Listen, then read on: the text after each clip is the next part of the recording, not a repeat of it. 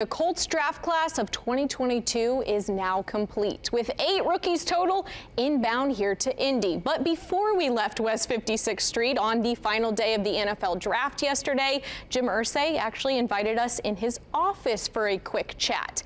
Hanging above his desk on display were the Lombardi Trophy, the helmets of Johnny Unitas, Peyton Manning, and Andrew Luck, all maybe haunting reminders as the Colts owner opened up about the narrow roads that have led him him to his fifth quarterback in five seasons. Now, his highest priority is a long-term solution at QB, but he believes the roster is ready to win right now. So his hope for Matt Ryan is three, maybe four years of doing just that.